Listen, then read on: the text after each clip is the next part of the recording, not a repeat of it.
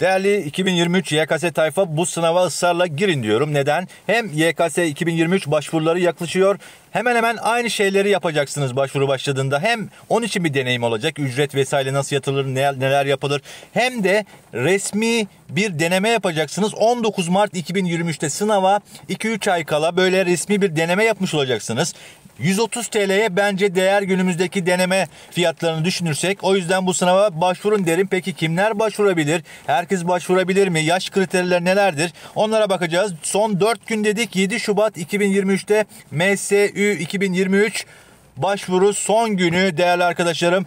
Kimler 2020 yılı ve öncesinde lise ve denge okullardan mezun olan kişiler başvurabilir mi? Hayır, lise ve denge okullardan 2020 yılı ve öncesi mezun olan kişilerin başvurusu sistem tarafından engellenecektir. Yaşı tutsa bile değerli arkadaşlarım. Belki mezunları ilgilendirebilir o kısmı. Harp okulları, e, meslek yüksek okullarına başvurularda yaş kriterleri nelerdir? İşte bu önemli. Harp okulları için en fazla 20 yaşında olmak 1 Ocak 2003 ve sonrası doğumlu.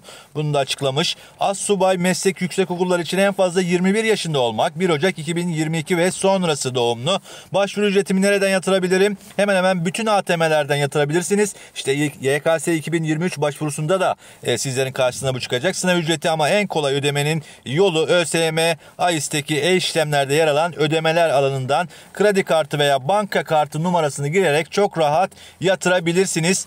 Başvurunu internetten değil de sınav başvuru merkezinden yapan kişiler ilave bir ücret alır mı? Yine YKS ile kıyaslayalım. YKS'de de arkadaşlar başvuru merkezine gittiğinizde orada 10-15 gibi cüzi bir rakamlar alınıyor. Bu sene de aynı olacaktır. Ama bunun dışında AIS'ten de başvurunuzu yapabilirsiniz. Sınav başvurumu geç başvuru tarihinde yaptığım takdirde ilave bir ücret öder miyim? Evet MSY 2023 geç başvuru ücreti 195 TL. 130 yerine 195 TL ödersin. Başvuru ücreti normal 130 TL bence değer arkadaşlar. Lütfen bu sınava başvurun. Başvurumu nereden yapabilirim? AIS ÖSYM Gov.tr'den yapabilirsin veya yüz yüze ÖSYM başvuru merkezleri aracılığıyla yapabilirsin dedik ve Türkçe Edebiyat videoları da sizlerle olacak. YKS sürecine ait her şey, sınav çıkısı, soru değerlendirmeleri, kayıt süreci sizlerle olacak. Lütfen kanalıma abone olmayı unutmayın değerli arkadaşlarım. Görüşmek üzere.